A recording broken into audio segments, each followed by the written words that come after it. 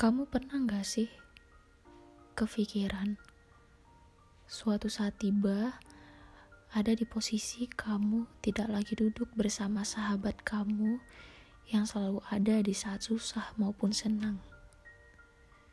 Sahabat yang selalu bantu kamu, yang selalu ikut bahagia di saat kamu juga ngerasain bahagia.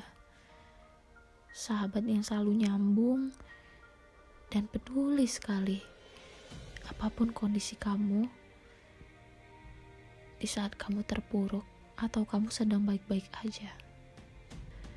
Sebenarnya secara logika, kita tidak bisa menghindari hal yang sudah pasti. Karena setiap yang bertemu pasti akan berpisah dengan cara takdirnya masing-masing. Entah karena usianya atau mungkin karena jaraknya. Bagi aku, sahabat itu sangat berharga. Ibarat mencari tiram di dasarnya, dan kita dapatkan mutiaranya. Banyak orang yang bisa dijadikan sebagai teman, tapi untuk dijadikan sahabat itu seperti dua di antara sepuluh. Jadi, kalau ada orang yang bilang main terus, kapan di rumahnya sih? Kadang aku cuman bisa berkata dalam hati, ya waktu itu berharga. Kebersamaan belum tentu utuh selamanya. Aku hanya berusaha menciptakan kenangan baik dengan sahabat yang belum tentu nanti akan didapatkan kembali di kemudian hari. Dan sebenarnya bukan hanya sekedar mengenang dan mengingat, tapi sahabat baik juga bagian dari hidupku.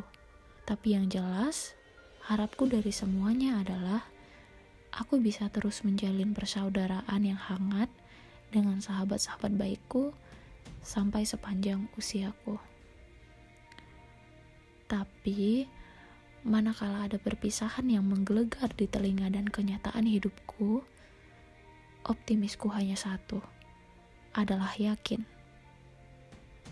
Ya, yang berpisah semoga dipertemukan kembali. Aku harus meyakini itu.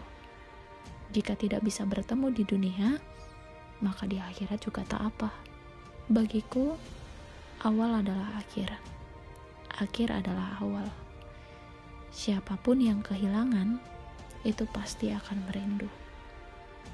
Untukmu sahabat baikku, engkau bukan orang lain bagiku.